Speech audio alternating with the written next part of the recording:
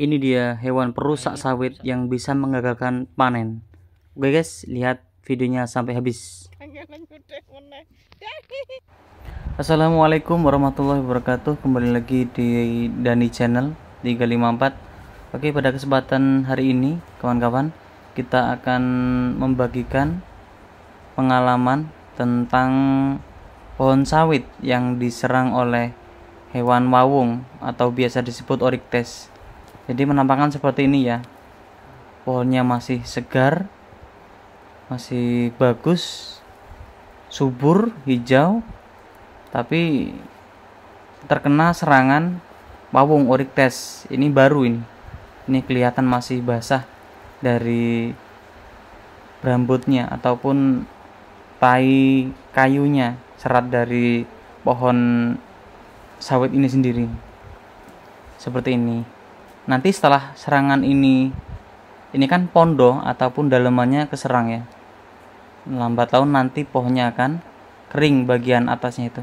Yuk coba kita cari dalamnya. Ada apa enggak mawungnya atau oriktesnya? Kita buka lur. Nah ini lur. Ya ini. Terlihat ya masih ada di dalamnya ini oriktes atau mawung ayo coba kita ambil dulu. Kita perlihatkan keganasan atau kejahatan dari hewan ini ya.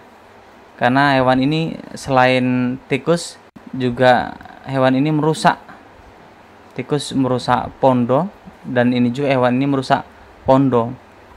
Sehingga ketika keserang hewan seperti ini pucuknya dari uh, si batang sawit ini itu akan rusak sehingga bisa mengakibatkan uh, rusak tanaman sawit dan gagal panen yuk kita lihat kita kali dulu ya.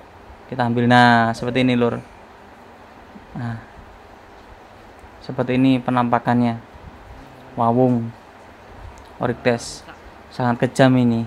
Ini kendala bukan hanya untuk sawit kecil ya TBM tapi juga sawit-sawit besar. Ini sangat mengganggu sangat berbahaya. Segera kita cegah hal-hal yang bisa me berkembang biak hewan-hewan seperti ini ya.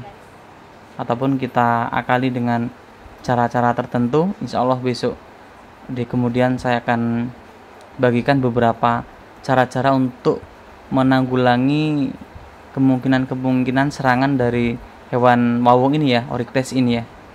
Seperti ini dampaknya. Jadi dalamnya itu pondonya habis dimakan oleh hewan ini. Nanti pohon yang subur ini daun pupusnya pucuknya itu akan kering ya. Ini hewannya penampakan yang jelas seperti ini kawan-kawan. Nah ini akan segera kita musnahkan ya.